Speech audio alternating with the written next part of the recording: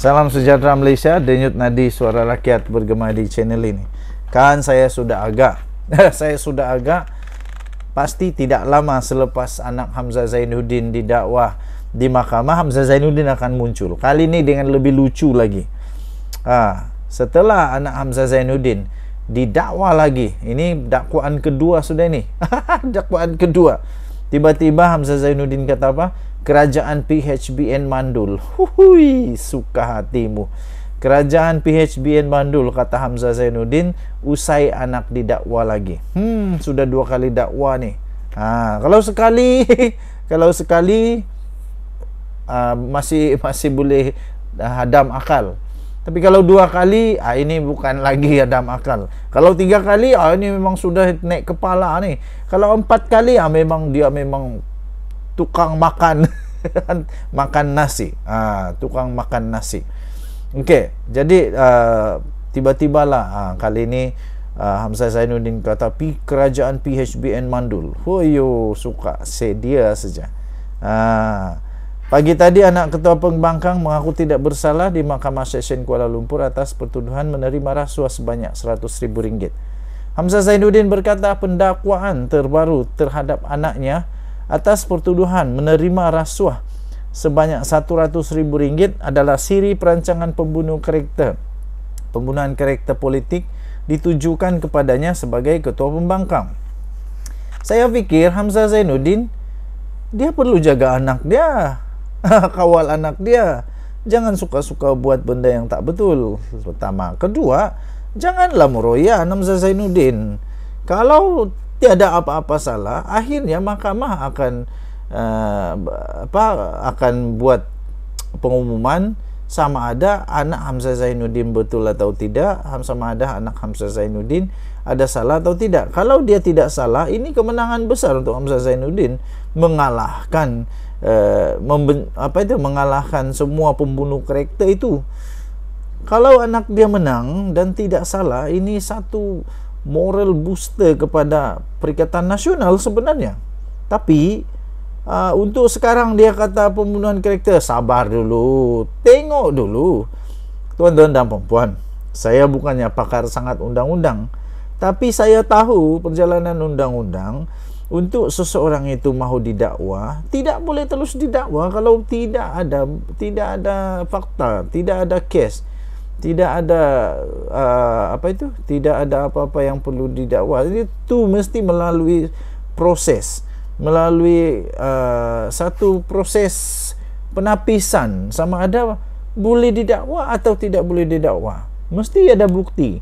Kalau sudah ada bukti baru boleh didakwa. Ha ramai makcik-makcik pakcik-pakcik orang kampung. Termasuklah saya sendiri dulu saya ingat begitulah Oh ini mesti terus dakwah. Tidak ya Tidak. Ini bukan terus dakwah ni. Nah, Perlu ada dulu ke, keputusan Atau uh, Mesti persetujuan daripada uh, Beberapa pihak. Barulah disiasat Barulah ada uh, Boleh didakwa atau tidak. Jadi kalau sudah didakwa itu Memang betul lah ada bukti. Cuma sekarang Anak Hamzah Zainuddin Perlu membuktikan bahawa dia tidak bersalah. Ah, dia perlu membuktikan bahawa bukti-bukti itu sebenarnya tidak menunjukkan bahawa dia bersalah. Ah begitu.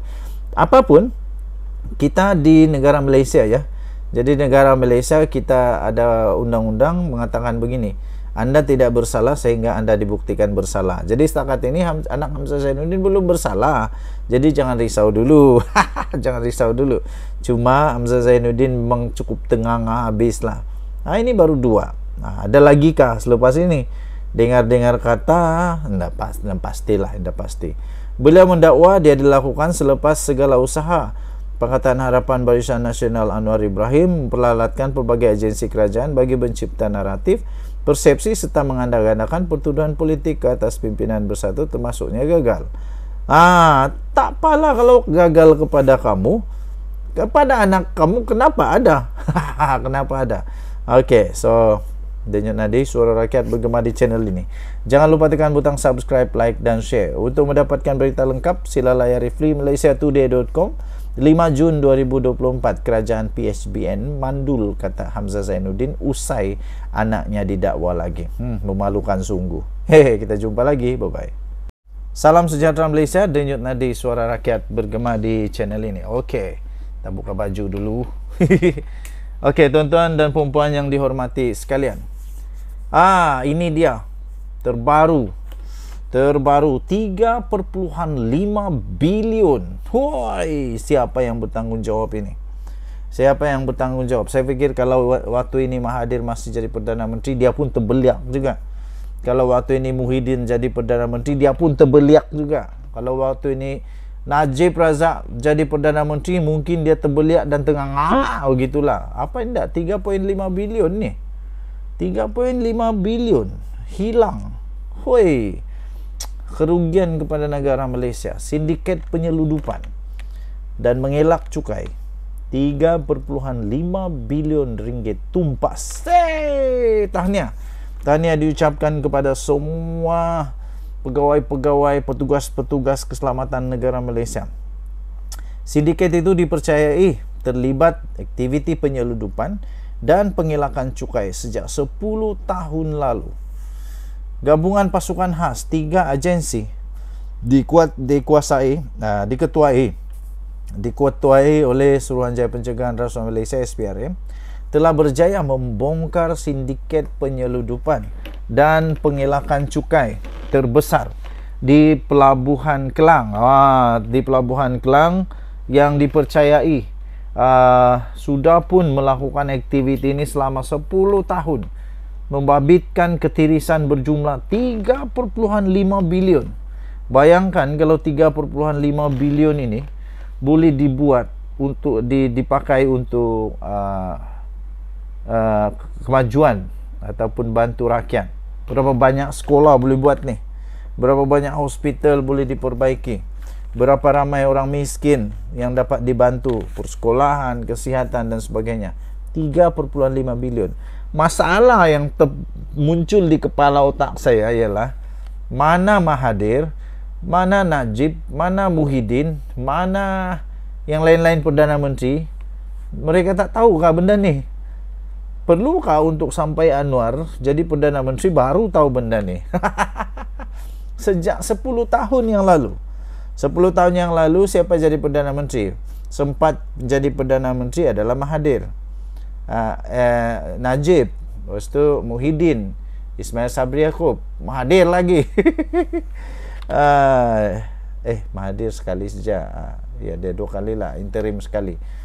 Tapi semua Perdana Menteri ni Tidak pun tahu tentang perkara ini ke uh, Soalan itu memang cepu mas Kenapa perlu sampai Perdana Menteri Datuk Seri Anwar Ibrahim? Barulah perkara ini dapat diketahui. Nah, tahniah daripada SPRM memang gandingan mantap paling padu. Saya fikir pasal inilah.